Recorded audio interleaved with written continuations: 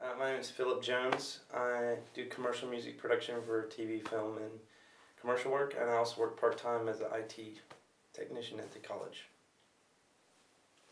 Uh, my name's Kate Wallwork, and I'm a history student. And I'm Diyan Leake. I work in publishing, uh, working on educational books for children.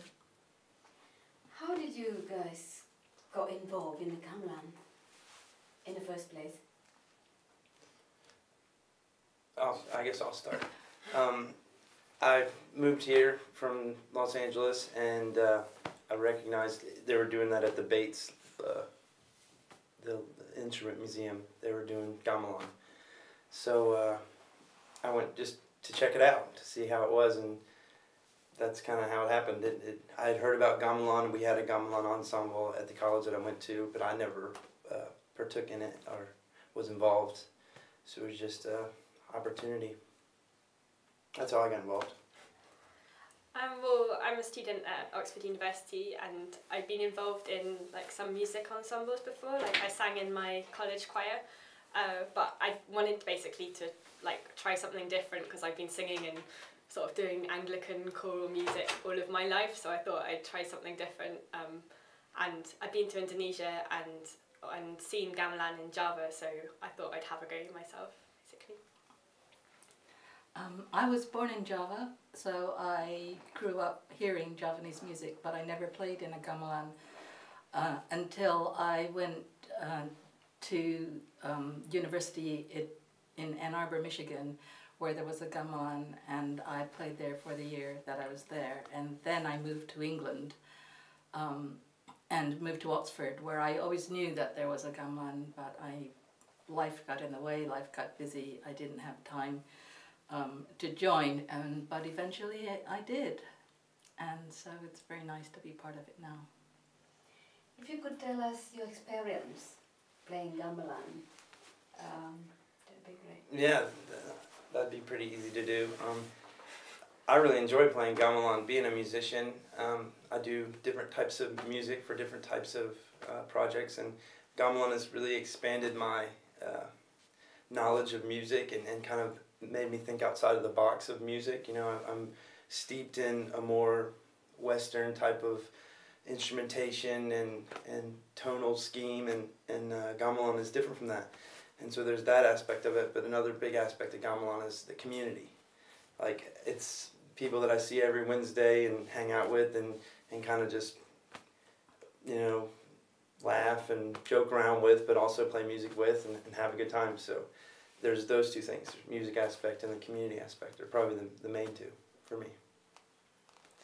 Um, well, I joined Gamelan about, well, nearly, nearly two years ago now. Um, and yeah, it's like really changed my whole experience at university um, because every week for three hours I come and do Gamelan and it's very different environment to the rest of my life. Uh, in and out of Oxford libraries and going to tutorials and having quite a stressful uh, time. So it's really great to come every like every every week to have three hours of calm and like music that I really love and made yeah made lots of friends as well like in gamelan. Um, and I find gamelan a good way of staying in touch with my roots, um, my background, my family. As I say, even though I never played gamelan um, it, it was always around, and um, and now in England, I I have a busy British life, and I've brought up two British children. Um, but gamelan is the Indonesian part of me that I'm staying in touch with. How does gamelan affect your life or your work, for example? Yeah, gamelan. It affects me. Um, well, it's something I can count on once a week, meeting with those people and, and kind of thinking in that, that idea. And, and also when I write music now, it gives me a whole nother body of information to draw from. You know, um, gamelan's totally different from anything I've ever really listened to. And in, in making that normal, it, it gives me a lot more, you know, tools in the toolbox of a musician. Instead of just thinking of these scales or this, that, and the other, you start thinking of, oh, this, this one thing that used to be outside of the box or, or that used to be strange to me is now not strange anymore. So there's that aspect, and then just I guess having that social thing is really made my life different.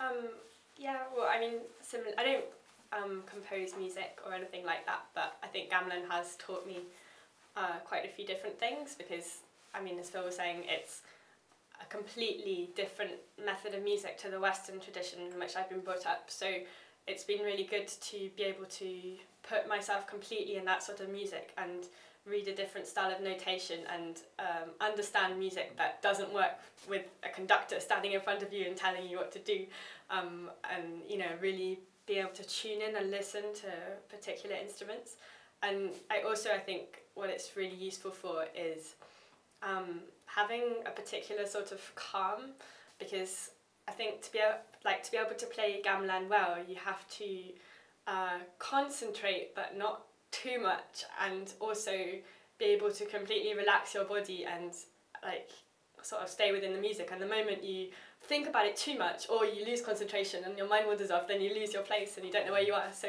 like it's actually a really i think useful skill to be able to take to other walks of life. Mm-hmm. Um, gamelan is the only music I play. I don't play any Western style instruments. So it's nice um, to be able to make music at all. And one of the really nice things about gamelan is how you can come in not as a musician and yet make music, um, collaborate with some very talented people, also collaborate collaborate with other amateurs, collaborate with beginners, and you're still making music, and th- that's really good. I think everyone appreciates that. And so you have composed a few music pieces. Yeah, I've never composed a gamelan piece, but yeah, I've definitely composed a lot of different types of genre music.